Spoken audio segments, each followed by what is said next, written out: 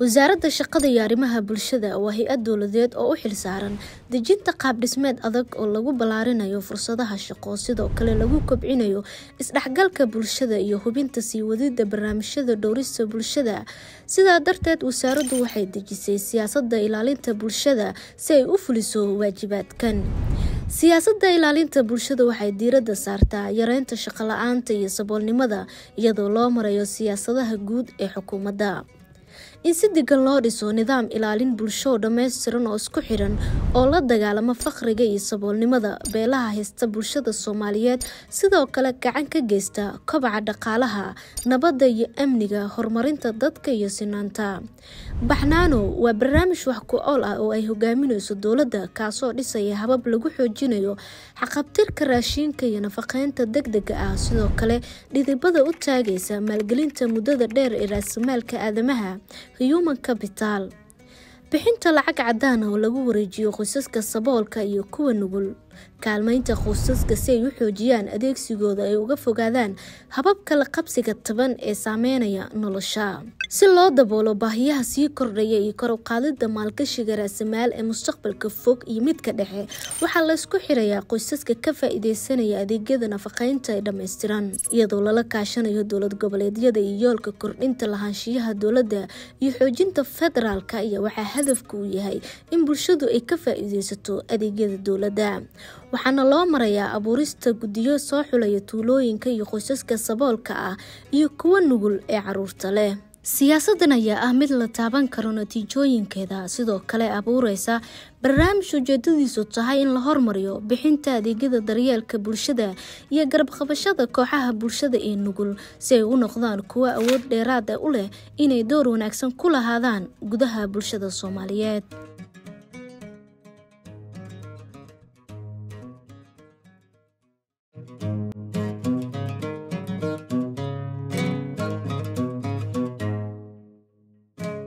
ku dhowaad kalabar shacabka soomaaliyeed ayaan haysanin xadigii loogu talagalay cuntada waxayna taasi keentay in bulsho badan ay wajahaan xaalad nololeed oo khatar badan. Gaabaney waa mid ka mid a deegaanada ku dhow degmada xudur ee gobolka bakool waana meelaha ay saameeyeen abaarihii dalka ku soo noqnoqday. Walba mahaysan wal unaweelaniba male beeroleylayayni beeroginino abaarsadeen wal unahayniba mijara saameynta ugu weyn ee abaaraha waxay ku dhaceen dadka xoolo dhaqatada taasoo keentay inay ka dhammaadaan xoolaha oo ahaa waxa keliya ay noloshoodu ku maareeyaan. Waxaan dhalay toban carruur eh. Waxaan miiskanan jacbursadaa iyo waxarahan iyo dubigaas yaan haystaa. Iska qori guritaan iska ahayn iyo beerahan iska tabcaniin. Inta u annaga aan helin horteed. Waxay ku noolayeen waxaa sidoo kale ka mid ahaa masiibooyinkii halageeya dhulbeereed fara badan. Mawjado ayaxa taasoo culeys hor leh ku noqotay bulshada dhibaataysneed mar adiga dhowr saan laga joogo ka hor ayax ayaa ku dhuftay deegaankan aan joogno shiqaaley muddo badan ayuu ayaxaas dhibaatadiisuna haysay runtii waxaa noo yimid baxnaano oo bixinaysay ayaxa bulshooyinka ku dhaqan tuulooyinka fogfog ee gobollada ayaa ahaa tirada dadka ugu badan ee loogu talagalay inay ka faa'iidaystaan mashruuca iyadoo looga gol leeyahay in kor loogu qaado kobaca bulshada.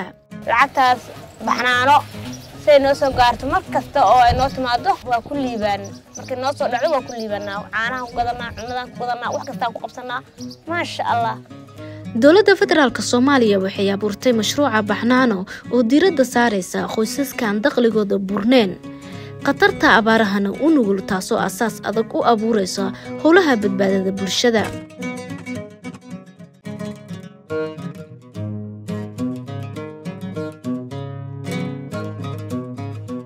Cadar maxamed shabeel waa hooyo maareysta qoys ballaaran oo ku nool deegaanka xerejaale oo ka tirsan degmada goldogob ee gobolka mudug. Waxay muddo dheer la daalaadhacaysay ganacsi yar oo ay ku maareyso nolosha qoyskeeda meheradu maalinba waa meherad waxa way tuulo ku taala. Marna waa laga yaaca mar waa lagu soo yaacaa. Mar waa laga guuraayo abaar baaba dhacay. Dhowaan abaar baaba na saarnayd. Dadweynaha si aad u ogtiin ninka waa baxnaan annaga waa na anfacday. Ma garaseen dayn baa iskaga bixinay. Cuntaan ku cunnay waa na anfacday waa ku liibaanay. Sidaas horta noo anfacday dowladda soomaaliya oo doonaysa in shacabka ay ka gudbiso buundada macaawinada keliya xilliga abaaraha ayaa dardargelisay ka caawinta inay abuurto ilo dhaqaale oo ay ku noolaadaan. Abaar waay laba sano abaar saddex sano abaar. Ad waxaa laga wahaa yaro matoor eh balki markaa la abuuro ma bahay digirta markaa la abuuro ma bahay waha bahay ma nyaanyada ma bahaysa marka waa iska hoobinayin ad waxa yaro geedgeed eh duhul ee beeraha afkooda gugurina.